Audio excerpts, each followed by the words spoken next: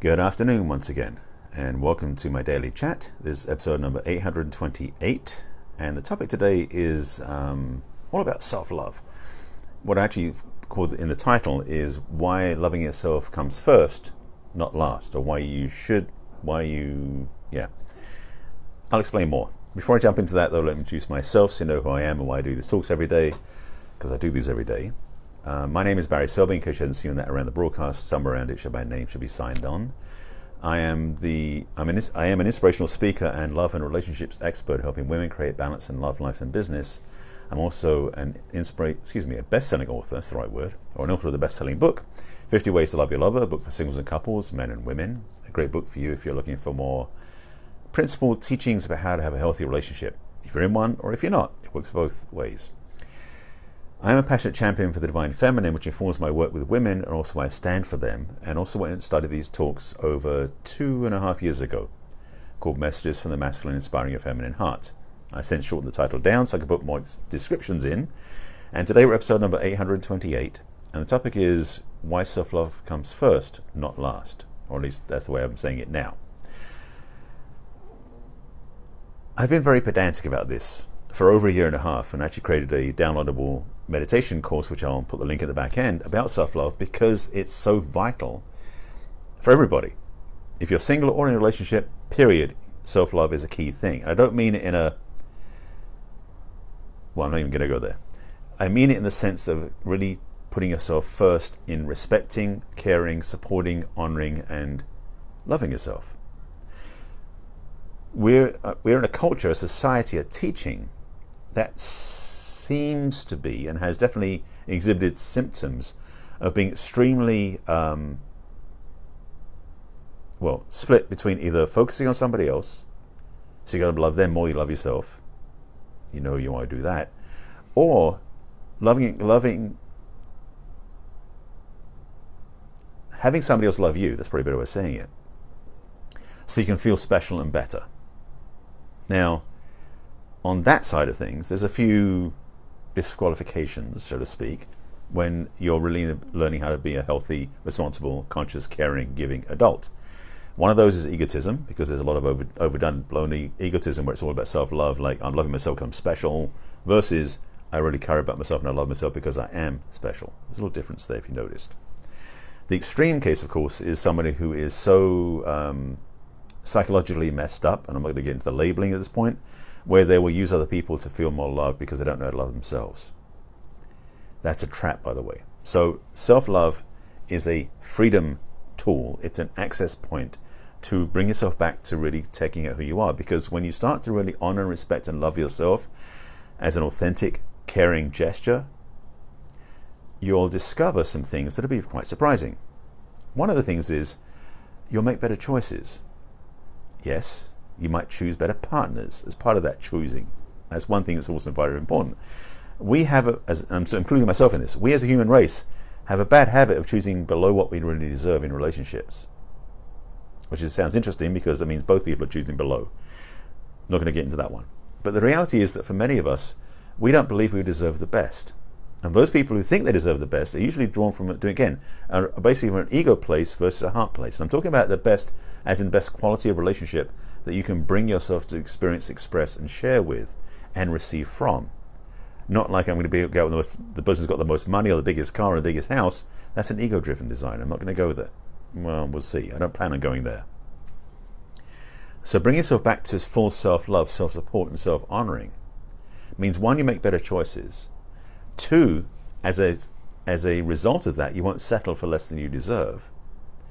And three, another piece that comes up is you start to trust yourself more because what happens when you start to really love and appreciate yourself and care about yourself is you make better agreements. You make agreements that are worth keeping and you make less agreements that are not worth keeping. Hi, Nancy. Nice to see you my broadcast. And this is the thing. Oh, by the way, if you're watching this on YouTube, this is a Facebook Live first, which is why I said hi to somebody you can't see. I have to keep doing that because there's people watching YouTube going, who's he talking to? So now you know. So the side effects or the benefits because it works either way, of self love is you make better choices, as I mentioned. You won't settle for things as much because you take care of yourself and you won't put yourself in situations, or you rather will not stay in situations that aren't honoring of who you are. You'll also find yourself making cleaner and healthier agreements, which mean that when you make those agreements, you will actually keep them, which also means that you don't make as many. Because one of the things I did a whole talk about agreement keeping a few weeks ago, maybe two months ago. I can't remember what it is. You, you, I'll tell you that back end, by the way, the links you can go find my replay so you can go find it for yourself. Because agreement keeping was a big teaching point, and it's a big teaching point now. The thing about it is when you start, again, come from the place of self support, self love, and self appreciation, because when you start loving who you are, all these um, facets and aspects of how you love yourself become more visible, more discernible to yourself. Again, you support yourself. You, you have more confidence in yourself. You trust yourself. You keep your agreements. You have more confidence in yourself. You say no to things that don't line up for you. You choose your agreements more intentionally, more carefully, more authentically because you know who you are. Because a lot of about self love is you start to realize who you really are. Many people, it's surprising how this works, but many people don't even know who they are because they don't learn to love themselves. And I say it because, intentionally, because when you start to love yourself in a very intentional, practical methodology, and again, I'll put the link to my, my self love practice in the, in the comments because it is deceptively powerful. And I'm saying that as a true statement. I'm not making stuff up, basically. Is when you start to play, come to the place when you really love and respect who you are, you start to see how amazing you really are. Yes, it's a side effect you start to discover who you really are as a gift, who you are as a caring person, who you are is a worthy, deserving person. And so your self esteem increases too. Lots of good side effects. Yes, Nancy, it is right. Absolutely. Thank you for the agreement. So, being intentionally self loving as a conscious practice, and I mean it from the point of view of just having deep reverence for who you are. So, you respect who you are, and you then appreciate who you are. Also becomes a um,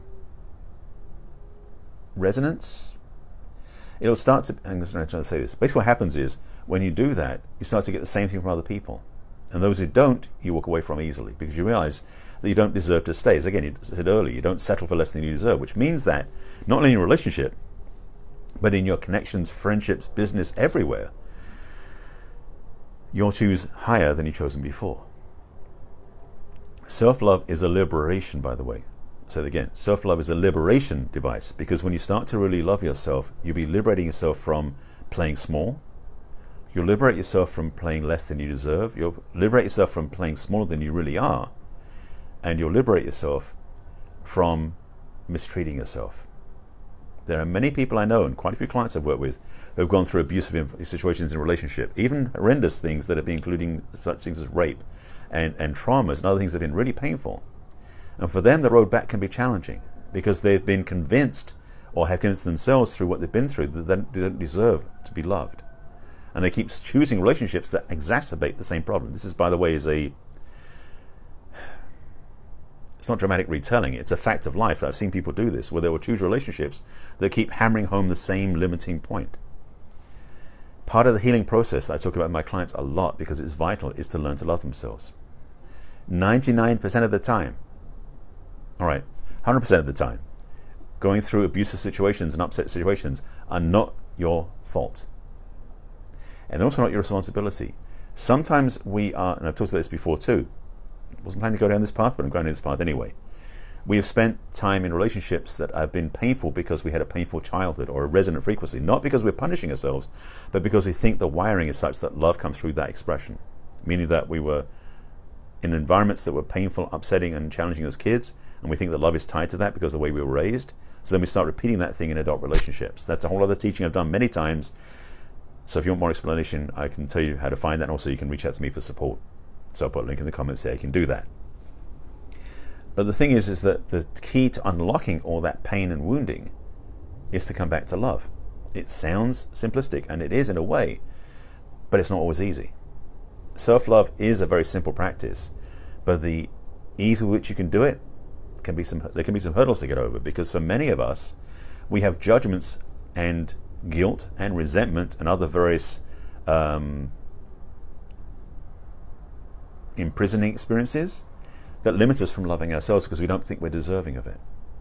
You know, it's like you, when you say that when somebody says to you, or when you've heard somebody say, you know, if you knew, if you knew, if if you really knew what I was like, you wouldn't love me.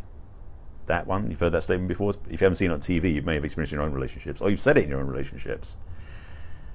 that's usually triggered because there's a belief running inside, an old program, an old wiring that has put us in the place where we don't believe we deserve because we did something heinous in a past relationship. Or more importantly, something heinous happened to us in past relationship. So we don't think we're deserving of love because we let that happen to ourselves. That's a mistaken approach. It's a lie you've been telling yourself to hold yourself back. When you realize that what happened to you happened to you, as in it was something that happened, it's not something you triggered, you caused, or you deserved, you start the journey back to healing. And self love is a healing practice. It's not an easy one, as I mentioned, especially when you go through the, the um, stuff that comes up when you do that stuff. That was technical term, by the way. Basically, what ha- let me say this way self love, again, is a simple practice, but it's not always easy because when you do practice self love, and the way I recommend it is with the meditation I offer, it will unfortunately, or fortunately, depending how you look at it, trigger memories and bring up old limiting beliefs and feelings that you've used as excuses not to love yourself. And when that happens, you keep loving yourself. When the judgments come up, you start forgiving yourself. Self forgiveness, by the way, is a self love practice, meaning that when you learn to love yourself, you learn to accept that you made some mistakes or you have judgments you're carrying, and you can forgive them from the right place, which is love. Self forgiveness doesn't work from up here. I believe it works from down here. And from my experience, that's how it worked. So, samsara, yes, exactly, Nancy. It's that it's that coming back, is coming from a, place, from a place of humility, but also from a place of acceptance that you are deserving of more. So you're willing to let go of the judgments. And forgiveness with love is the best way of doing it. So self love, as I said, has many different um, facets and aspects and um, fruit that it bears. So if self love is the plant, there's a lot of fruit that it bears. Let me try and reach my analogies. That wasn't that was that was okay. I'll use that one. But the recognition is that when you do practice self love, the benefits again are these fruit, including self trust, self confidence, self self respect, self appreciation, um, self support, self honoring, and your self esteem increases dramatically. I think I've made this clear. Self love is a great practice. If you don't already do it, I do recommend starting. I have a recommendation myself of how you can start most effectively, which is going to be the link I'll put in the comments after I sign off. Because self love is vital. I mean, I created the product because I got such a demand and such a clarity with my audience because they realized and they were also being educated that self love was a key. It's a key to freedom, it's a key to, to empowerment, it's a key to supporting yourself like you'd never supported yourself before. It's frankly my. Um, it's my go-to in a lot of ways, but it's also the cornerstone of my work. Everything with my coaching starts with self-love because every relationship is a reflection of how much you love yourself. That's probably the biggest piece, by the way, because since I'm talking about relationships in my work, one of the biggest challenges a lot of people face is they keep looking out there for the person to love them to make them feel okay. They're looking out there to feel sufficient. They're looking out there to be fulfilled. They're looking out there to be fed. Those are, well, say errors in approach. You cannot be filled up energetically by somebody else's love, somebody else's gift, somebody else's calling, as unromantic as that sounds. Because the reality is, you can only feel loved as much as you love yourself, which might explain why you might feel like when they love you, it goes away too quickly. But when you let somebody, when somebody loves you so much, it can be either overwhelming and you get an aversion to it, or it doesn't feel like enough and it dissipates. The reason why is because you don't have the foundation or the battery filled with love inside that is yours. So self love, as I said, is a cornerstone for every relationship. Because when you do love yourself fully, it gives you the chance to receive love from outside, and is the bonus because you get to fill up from inside first. All that love is an overflow. It's an abundance. It's beyond what you need. So you can enjoy the abundance of that, and you can share it back to the other partner. If both partners are expressing self-love on their own time, in their own space, with themselves, it makes a relationship much healthier, much more wholesome, and much more fulfilled with love. I am, as you may have guessed, passionate about this topic because I've talked about it quite a few times, and which is why I created the self-love practice. Or self-love, excuse me, self-love guided meditation practice, because that's what it is. It's an opportunity to love yourself, and however you do that, you can do that. I recommend mine because it works, and I created it for you. Um, the link will be in the comments, and if you don't have it written down, it's barryselby.com forward slash self-love. I will put the link in the comments, so you can just click on it. it's a recommendation I have because if you have any blocks, challenges, upsets about relationships, you're not feeling connected, you're not feeling worthy of it, this will be one of the keys that'll open the door to have you be abundantly available to love. Love starts from within, and I'm passionate about this learning. I didn't know this for a long time, so I learned this myself. Is that love does start within you, within me. Yeah, that. So when you go into relationship, you don't go there going, "I'm empty, I need to be filled up." Yes, at times. Let me say this as a sidebar. In relationships, sometimes you may be feeling so drained, you look to your partner to fill you up. That's okay, but you don't live the whole relationship that way. That's not healthy for you or for them. Loving yourself first is how you fill up your tanks, your battery, so to speak, so you're, you're fully charged to start with. And from that place, you can have an amazing relationship. And certainly your dates, if you're single, will go much more powerfully when you are loving yourself first because you don't need anything from your partner. So those dates you go on, you can enjoy detached and free to experience what it's like to be with that person. So even before your first date, self-love helps. I think I made my point. Um, I appreciate you being with me. I did put, I will put links in the comments again for my self-love practice. I will put a link in the, book, the comments for my books. I mentioned that at the beginning. And if you want to talk and understand further how this works, I'll put a link in the comments so you can talk to me for free. Um, it's complimentary, put it that way.